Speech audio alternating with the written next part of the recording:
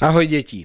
Jsme na straně 57 nadepsané D13 a tuto stránku zakončíme druhým cvičením. Otvírám druhé cvičení a vy už máte před, přečtené zadání, tak všichni spočítej a napiš. Co budeme počítat? A pozor, tady je o dvě méně. No, co to znamená, když někde počítáme o méně?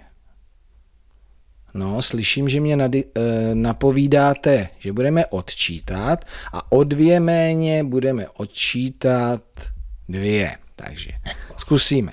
Pět a hledáme o dvě menší číslo. Takže použijeme příklad 5 minus 2 rovná se 3.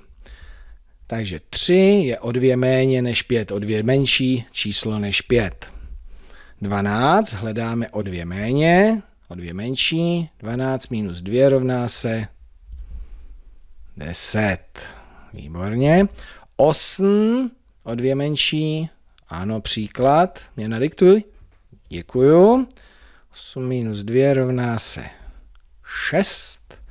A teďka ještě, už sami, příklad a výsledek 17. Tak, teďka jsem vám hodně pomáhal, tím, že jsem ty příklady tady psal, ale při vyplňování té tabulky si ty příklady budete říkat jenom v hlavě.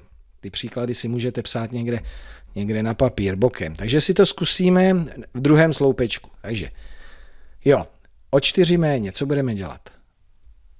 Odčítat čtyři. Fajn. Takže 10 o 4 méně znamená 10 minus 4 rovná se 6. Takže 6 je o 4 menší číslo než 10. 20 o 4 méně. Ano, už slyším příklad 20 minus 4 rovná se 16. 14 o 4 méně. Ano, napovídáte příklad 14 minus 4 s výsledkem rovná se 10. A teď už sami. Výsledek 2. A jak jste na to přišli? 6 minus 4. Výborně. Tak to byla ukázka prvních dvou sloupečků a co takhle ten třetí a čtvrtý samostatně. Já si myslím, že to zvládnete. Dejte se do práce, přerušte video, za chvíli si porovnáme řešení. Tak hotovo, tak se podíváme. No tohle to trošku zmenšíme, trošku víc to zmenšíme.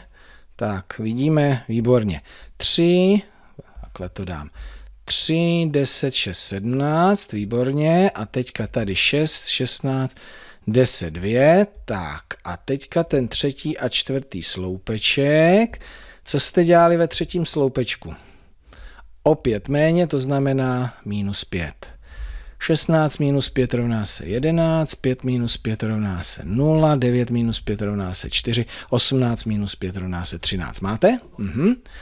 O 3 méně, čili počítali jste minus 3, 17 minus 3 rovná se 14, 13 minus 3 rovná se 10, 15 minus 3 rovná se 12 a 7 minus 3 rovná se 4. Výborně. Tak a teďka to je o dvě méně a napadá mě, že bychom si ještě měli připomenout, že jsme něco podobného už dělali a to bylo o více. Mhm. Pamatujete? A o více se přičítalo a když to bylo o dvě více, tak se přičítali dvě. Tak, máme třeba desítku. Hledám o dvě menší, o dvě méně, takže počítám 10 minus 2 rovná se 8, ale pozor, musím si dát, co tam je napsáno o dvě více, takže o dvě více než 10, 10 plus 2 rovná se 12.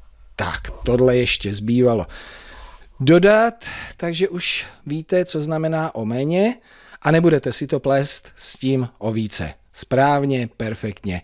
Tak zas někdy u nějaké slovní úlohy o méně, o více.